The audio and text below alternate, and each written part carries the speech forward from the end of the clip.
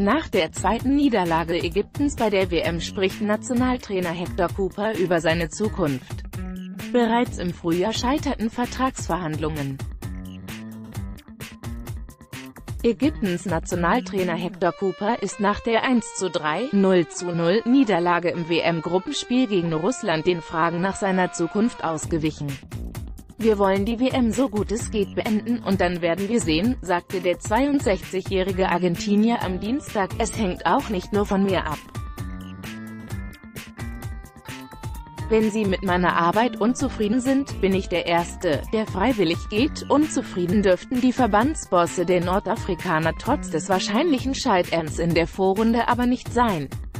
Cooper, dessen Vertrag nach der Weltmeisterschaft ausläuft, hatte die Ägypter schließlich zur ersten Teilnahme an einer Endrunde seit 28 Jahren geführt.